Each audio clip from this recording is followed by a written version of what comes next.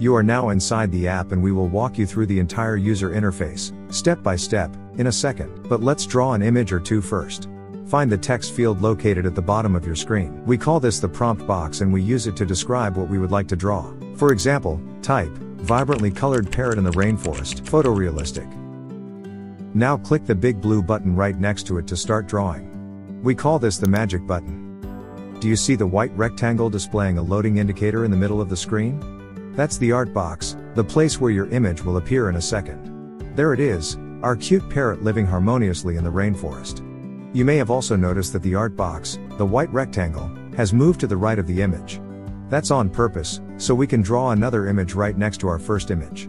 But before we draw our second image, let me introduce a little feature that we use all the time. It's called Zoom Fit, and it fits all your images as well as the art box to the visible area of your screen. It's located on the toolbar in the top right corner. Voila! Now, let's click the magic button again and draw our second image. Alright, so there's number 2. Same prompt, but two different images. And you can repeat this process infinitely.